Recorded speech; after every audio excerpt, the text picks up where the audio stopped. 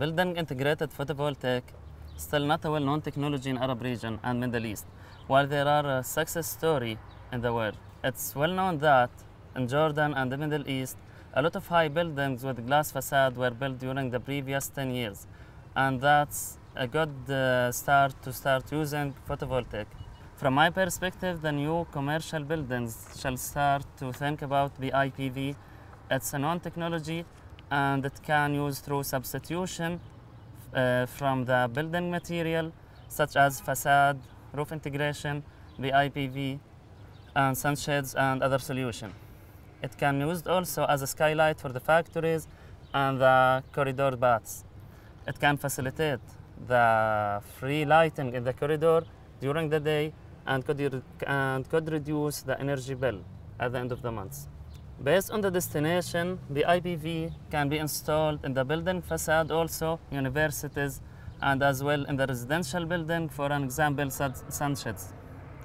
Manufacture, manufacturers control the BIPV installation, such as transparency, uh, how to avoid the high temperature at the back of the PV system, and as well as architectural design and aesthetic. All these factors are important to facilitate a good quality of the BIPV system.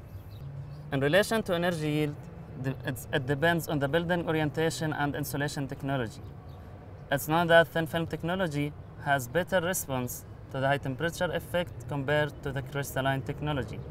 The south orientation in our region uh, can gain a highest energy yield comparing to any other, any other orientation such as east or west orientation. When considering facing, facing to the south with variation in the tilt angle, we can see that the maximum energy yield can be gained uh, at the at the optimal tilt angle in the region. In Jordan, for example, it's 26 degrees.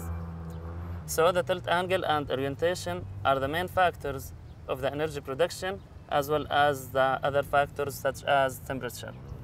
Regarding the consumed insulation area, we know that each kilowatt peak of the PV, of the PV system, of the regular PV system, uh, needs around 7 to 11 square meters, depend on the insulation criteria, while when using BIPV, by considering the technology efficiency and transparency, we need more than 7 to 11 and it differs between brand and technologies. And it's worth to know that using BIPV can give the building a new shape with a new aesthetic.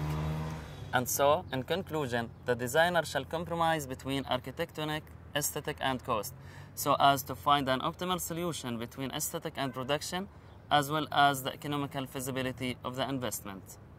And thank you.